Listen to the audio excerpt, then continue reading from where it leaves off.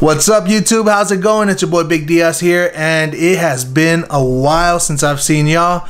Um, it's been almost a year since I've made my last video, the Foam Glow 5K, and I figured since we have a whole bunch of time now with the whole shelter in place coronavirus situation, that right now is the best time to bring the channel. Um, couple updates. I don't work for Ascend anymore. I don't coach soccer there anymore. I now work for a company called Springboard, and I coach soccer for a club not, uh, named Eclipse. Um, I don't have a girlfriend anymore. Sad. I have a fiance though. Um, I don't live in Oakland anymore. I live in Oakley. And what else do we have, Caleb? There's been a lot of changes lately, huh, buddy? Mm-hmm.